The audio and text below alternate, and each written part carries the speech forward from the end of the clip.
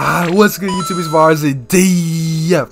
And today I'm bringing y'all the best center build on current gen, man. Y'all can see I am back on current gen with it. But in this video, I'm going to be showing y'all the best center build. I'm going to show you guys how to make it. I'm going to show you guys some highlights with it. As well as I'm going to be showing you guys what badges to run with it. If you guys do want to see more videos from me in the future, make sure to hit that sub button. You know, it really helps me out just by clicking that one button. And you can always unsubscribe if you want. Make sure to hit that sub button and drop a like if you haven't already. But without further ado, let's get right into it.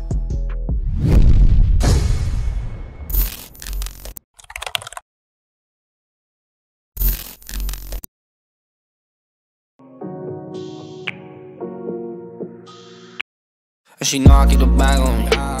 How I got a couple racks on me. I'ma hit it, then I dip. No, I do not trust a bitch, cause they all be the same to me. All these thoughts always running through my head. I'ma get the bag, double back for the bread. I'd rather smoke a blunt, kicking back in my bed. And yeah, she in my line, cause she know I'm getting bread. And she know I keep the bag on me. How I got a couple racks on me. I'ma hit it, then I dip. No, I do not trust a bitch. Alright y'all, let's get into the actual making of the build now. So the position is going to be a power forward. The handedness does not matter, but I usually like my players right-handed, so I'm going to go right-handed. And the jersey number does not matter. I'm just going to go down to zero because that's the number I always do. And let's go ahead and hit continue. Um, so the skill breakdown, you guys see all these pie charts right here. The pie chart you're going to pick for this center build is going to be the pure red. Now, there's a lot of pie charts you can go like in this game.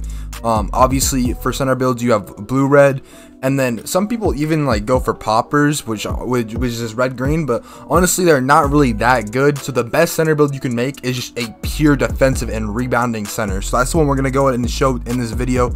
Um, you're gonna go to the second one from the bottom, the pure red pie chart. This is the one you're gonna pick. Um, for the physical profile, this is very very important for a center. Now, you guys are probably thinking you're probably gonna need strength. Strength in this game does not really matter.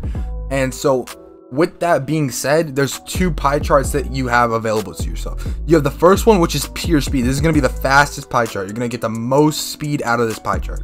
However, there's one that's actually better than that one.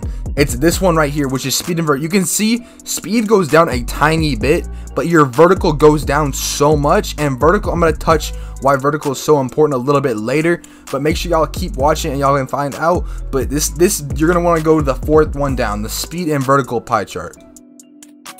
So the next thing you're going to do is you're going to want to upgrade your standing dunk, your driving dunk, your driving layup and your close shot except you're gonna take one off close shot and one off the driving layup. That's gonna leave you with 16 finishing badges which is plenty of finishing badges.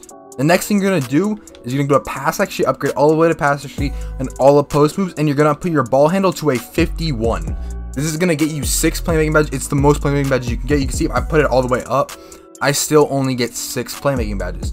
So you're gonna want to put it to a 51 ball handle and then the next thing we're gonna do is defense. Now this is pretty simple.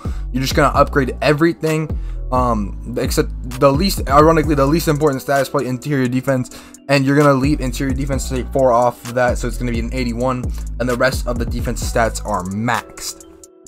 Now, let's go and continue. You guys can see that the badge upgrades are 16, 1, 6, and 30. You're gonna have 30 defense badges, which is a lot of badges for this build. Now, hit continue. The body shape you're going to want to go with is burly. Now, me personally, I don't really like my players burly, but for this specific build, burly is just the best body type because you're not shooting at all.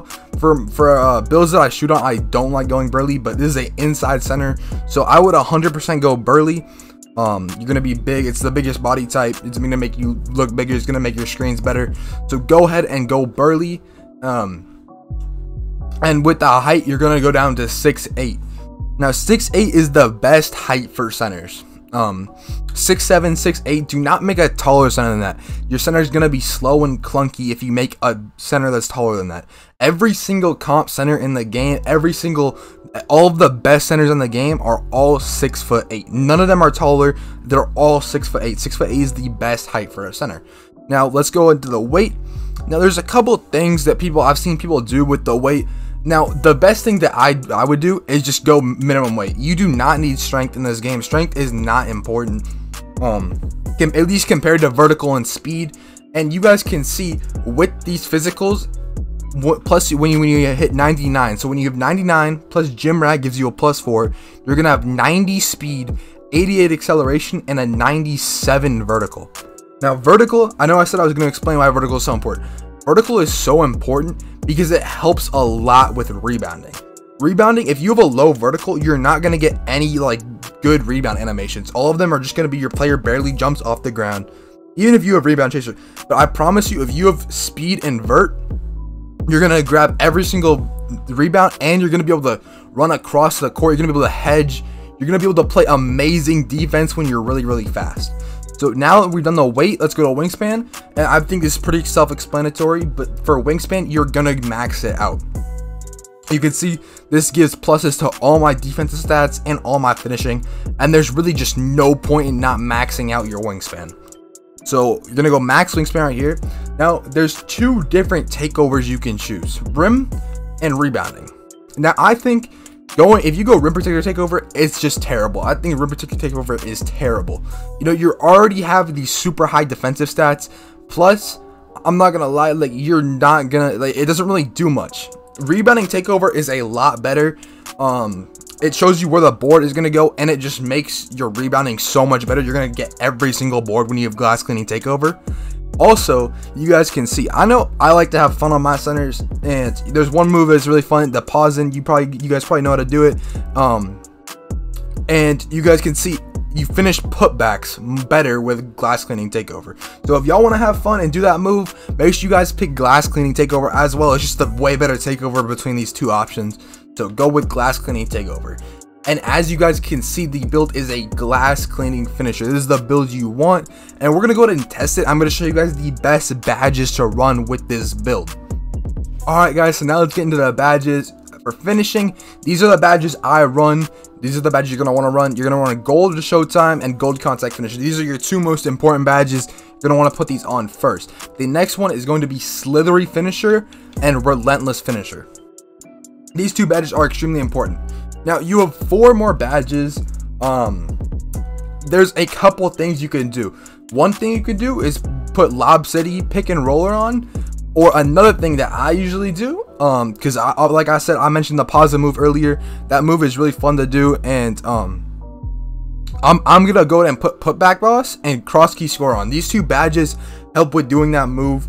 So if you guys, by the way, if you guys want a tutorial on that move, go ahead and drop this video. 50, if this video gets 50 likes, I'll go ahead and upload a pausing tutorial on how to do the pausing.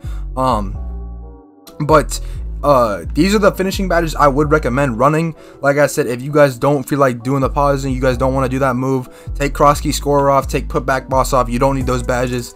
Um, and put pick and roller or lob city on, and those are the best badges you can run for a center. Now let's go and confirm it. Shooting badges does not matter. I'd run like slippery off ball. I don't know. It doesn't really. It doesn't matter at all. Um, for playmaking badges, I'm gonna. I, I would go and run bailout, um, unpluckable, and like quick first step. Those are the three badges I would run. Um, nothing really other than that matters. Those are like the three badges that matter. So I would go and run those. And then for defense, this is where it gets interesting. Defensive badges, the most important defensive badges are going to be Rebound Chaser, Rim Protector, Brick Wall, Chase Down, Intimidator. Intimidator Silver. You don't need Intimidator Hall of Fame. Um, a lot of comp centers only run at Silver. It's, it's basically the same as Hall of Fame. It doesn't really matter. Um, but go ahead and put Intimidator Silver. You're going to put in Interceptor on. Box Silver. Box Silver is a super underrated badge. Now, there's a couple other things you could do. You can put on clamps, especially if you're playing high, you want to put on clamps. Um, lightning reflex is also good. Um, and then with the last two badges, there's a, a couple different things you could do. Even if you don't want to run, let's say, clamps, you can put it on Heart Crusher. Heart Crusher is a really, really good badge. Heart Crusher is actually banned in wagers because it's so good. It's banned in wagers, it's banned in tournaments. It's banned because it is so good. You get one steal and the entire other team is on cold. You get one block, the entire other team is on cold. If you're running Hall of Fame Heart Crusher, that is just glitchy. Um, so if you guys do want to run it, go ahead. Like I said, you guys might want to put on clamps, but these are definitely badges that I would suggest running. And yeah, another glitchy badge would actually be Trapper too. But like I said, you, you have 30 defensive badges, and that may seem like a lot, but eventually you run out of space you or you run out of badge points you can see there's a bunch of badges you can put on but honestly 30 badges like you can't put every single badge on hall of fame even though 30 badges is still a lot but these are the defensive badges i would recommend and that's about it for the badges Alright y'all, I hope you enjoyed this video. I hope this video helped you out. If it did help you out, make sure to drop a like and hit that sub button if you haven't already. But that's gonna be about it for today. Like I said, if y'all want to see more videos, make sure to comment down below what you want to see. And I'm out, man. Peace.